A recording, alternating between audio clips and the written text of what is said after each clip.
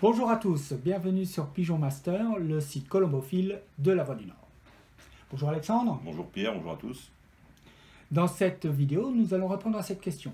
Comment fait-on pour devenir colombophile et quelles sont les démarches? Alexandre Donc, Le plus simple, c'est de vous mettre en rapport avec un colombophile actif de votre ville ou village qui vous indiquera les coordonnées du président de la société locale. Ou si vous êtes seul, vous pouvez prendre contact avec la Fédération colombophile française via leur site internet par mail ou par téléphone. D'accord. Et est-ce que ça suffit? Idéalement, il faudrait vous mettre en rapport aussi avec la mairie de votre commune qui vous indiquera les démarches à suivre Mhm. pour euh, l'installation de votre Et pour toi Alexandre, comment ça s'est passé? J'ai eu la chance d'avoir un parrain exceptionnel qui habitait le village d'à côté.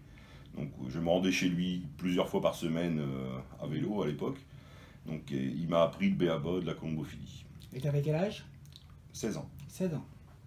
Donc un autre point clé, c'est qu'il disposait d'une bibliothèque colombophile exceptionnelle, ce qui m'a permis d'accéder à une lecture de, de qualité avec des points de vue différents de champions des années 60-70 qui m'ont permis de définir ma méthode actuelle.